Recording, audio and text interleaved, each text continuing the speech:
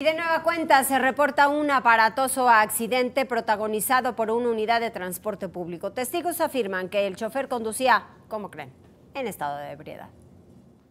Así fue como el operador de la unidad 20 de la ruta 25 se llevó un poste de telefonía en la colonia Riego Sur.